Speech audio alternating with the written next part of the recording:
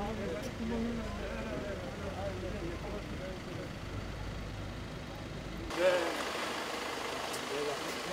수고하셨습니다. 아이고 진지게 저 가르침도 받고 해야 되는데 많이 늦었습니다. 예, 예. 네.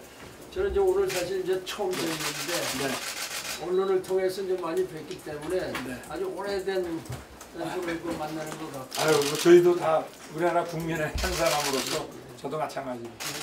그- 그가 같은 이제 검찰총장으로서 아주 많은 그 노력을 하셨고 그날도 공정, 그 법적 질서를 지키기 위해서 많이 노력을 네. 하시면서 그 벌써 이제 예비 등록을 이렇게 하셨던데요. 네.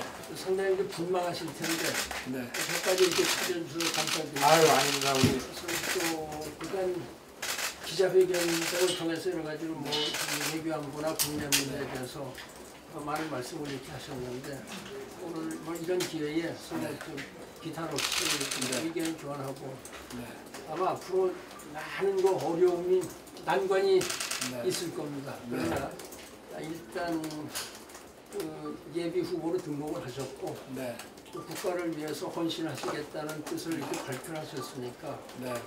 신인사 대천명하는 이런 자세로 네. 어, 열심히 하시면은 네. 유종의 미를 거두지 않을까 이렇게 생각하고 뭐 저는 그 국민들의 그 신뢰를 받을 수 있다 이렇게 생각을 하고 있습니다. 계속 열심히 노력하십니다. 명심하겠습니다. 예.